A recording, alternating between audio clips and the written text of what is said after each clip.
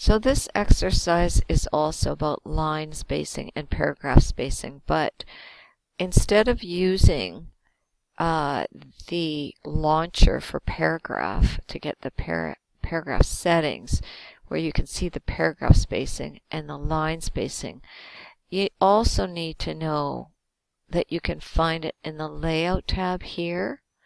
This is paragraph spacing for before and after. And in the home tab, you can find the line spacing in this icon.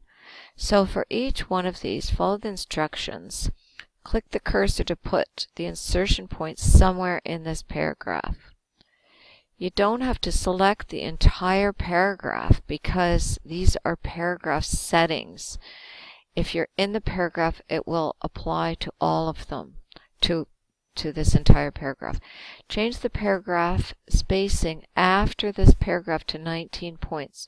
So this is here, and you can just swipe over it and type 11 and press the enter key and you will see a little bit of. Oh, it was supposed to be 19. Sorry, my mistake.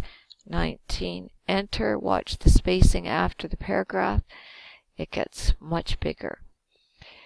Now, we're also supposed to change the line spacing to 1. And we can do that on the Home tab. Right here, click the 1. Okay, I'll do one more. Down here, you're going to put line spacing to three points, so it'll probably make this quite small. So that's in layout. Three, press the enter key.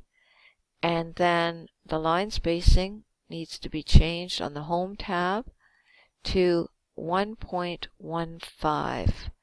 So I know this is a little bit more tedious going between those two tabs, but if you're ever doing the MOS exam, you need to uh, just really know these. So take the time to change the line spacing and the paragraph spacing in each of these.